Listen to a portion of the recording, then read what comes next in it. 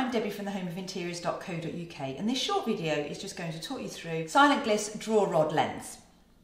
You typically want your draw rod to finish about 120 centimetres off the floor um, but this is, due, this is down to personal preference um, and height of the individual using the draw rod. Um, but if you take the installation height of your track to the floor and then take off the 120 and that will be about right.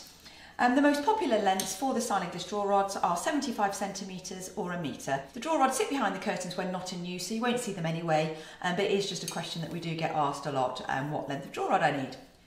I hope you found this video useful and informative. If you have, please do like the video and please subscribe to our website to be kept up to date with product news.